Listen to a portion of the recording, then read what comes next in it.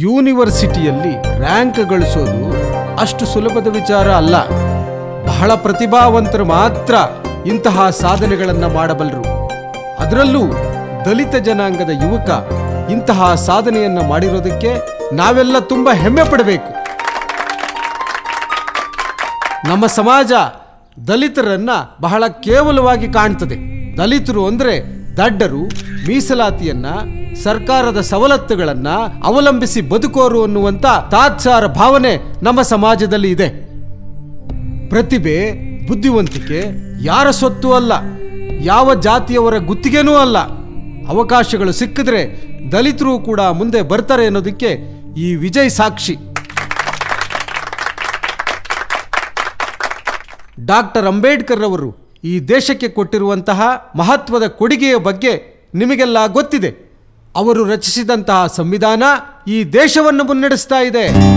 ಕೇಂದ್ರ ಸರ್ಕಾರದಲ್ಲಿ ಹಿಂದೆ ಬಾಬು ಜಗಜೀವನ್ ರಾಮ್ ಅಂತ ಒಬ್ಬ ಚಾಣಾಕ್ಷ ರಾಜಕಾರಣಿ ಇದ್ರು.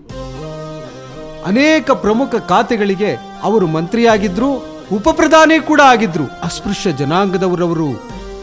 ಹಿಂದೆ ನಮ್ಮ ದೇಶದಲ್ಲಿ ಬೇಳೆ, ಅಕ್ಕಿ, ಗೋಧಿ ಇಂಥ ಆಹಾರ ಧಾನ್ಯಗಳಿಗೆ ಬಹಳ ಕೊರತೆ ಇತ್ತು. ಅವುಗಳನ್ನು ತರಿಸೋದಕ್ಕೆ ವಿದೇಶಗಳನ್ನು ಅವಲಂಬಿಸಬೇಕಾಗಿತ್ತು. ಬಾಬು ಜಗಜೀವನ್ ರಾಮ್ ಅವರು ಕೃಷಿ ಸಚಿವರಾದಾಗ ಅವರು ತಂದಂತ ಅನೇಕ ಸುಧಾರಣೆಗಳು. ಭಾರತ ದೇಶದಲ್ಲಿ ಹಸಿರು ಕ್ರಾಂತಿಯನ್ನೇ ಉಂಟು ಮಾಡಿತು ನಮ್ಮ ದೇಶಕ್ಕೆ ಬೇಕಾಗುವಷ್ಟು ಆಹಾರ ಪದಾರ್ಥಗಳನ್ನು ನಾವೇ ಬೆಳಕೊಳ್ಳೋದ್ರ ಜೊತೆಗೆ ಬೇರೆ ಬೇರೆ ದೇಶಕ್ಕೆ ಕೂಡ ಕೊಡುವಷ್ಟು ಶಕ್ತಿ ನಮ್ಮ ದೇಶಕ್ಕೆ ಬಂತು. ಆ ಕಾರಣದಿಂದ ಬಾಬು ಜಗಜೀವನ್ ರಾಮ್ ಅವರನ್ನ ಭಾರತದ ಹಸಿರು ಕ್ರಾಂತಿಯ ಹರಿಕಾರ ಅಂತ